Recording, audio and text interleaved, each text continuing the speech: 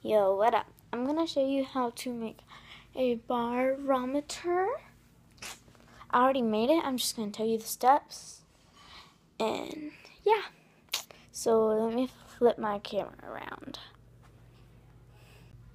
Okay, so here we go. Snow globe collection. Okay, so here we go. This is what it should look like. You don't have to have cardboard. It can just be like something wooden, but vertical. Yeah. So, what you do, a jar, rubber band, balloon, straw, double stick tape or regular tape, a drinking straw. You need a drinking straw. Cardboard, and scissors. So let's get started.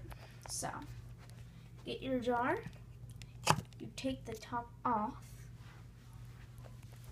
Okay, so you take the top off, you put this balloon over it, or whatever you have. You put the this on tightly, fast, you put it on fastly after you put the balloon on because you don't want any air to escape. So then you take your straw, you cut it like this, like, okay, like this, like vertical, or however that is, to make it like a point, like that. And then you stick it with some sticky tape, sticky tape, and then you um get like cardboard or whatever, and you cut that. You cut that, so just put this, and then like that, and use one of the long pieces, tape it right there, some tape, and then you tape that down. I'll put some on the bottom and on the sides. Hold it up extra good.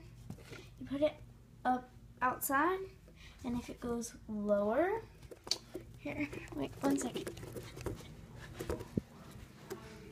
Wait one second.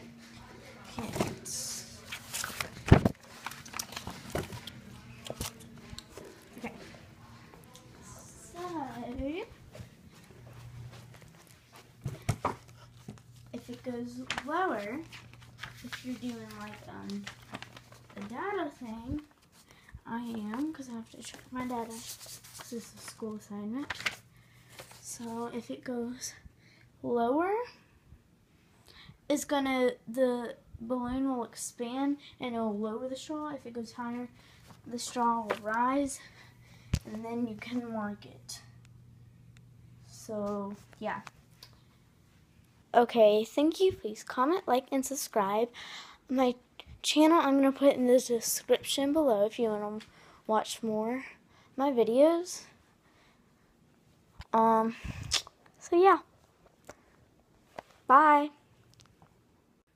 Okay, I am sorry.